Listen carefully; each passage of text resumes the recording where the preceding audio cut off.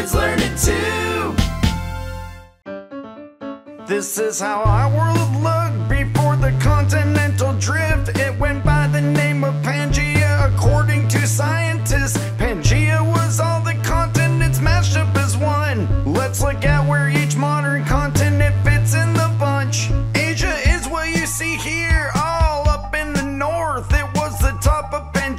You can see this here, of course. Right below Asia, you can see Europe, which is still above the equator even after the breakup.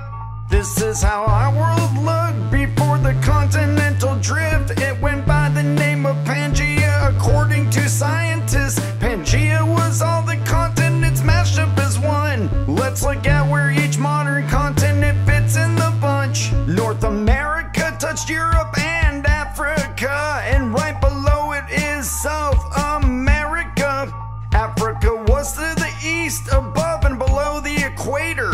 Here's India and Antarctica for sure.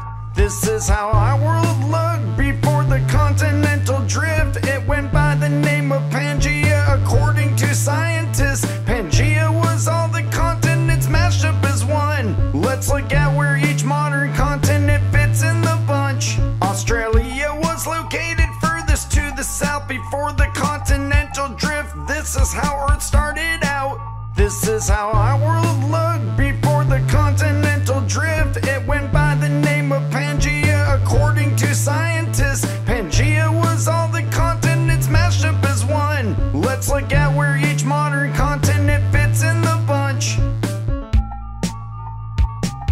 Thanks for watching KLT. Please subscribe to this channel, like our videos, and check out the KLT merch store.